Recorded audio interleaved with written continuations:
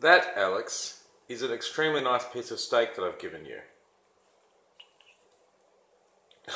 what was that? Don't you get it on the couch? No, see, that's exactly what I said not to do. I said not on the couch. Look at this. Look at that. It's fucking awesome.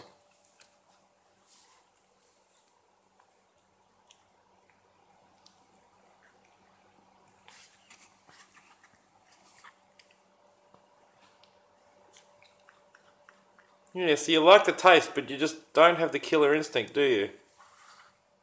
Look at that raw meat. what the hell just happened then?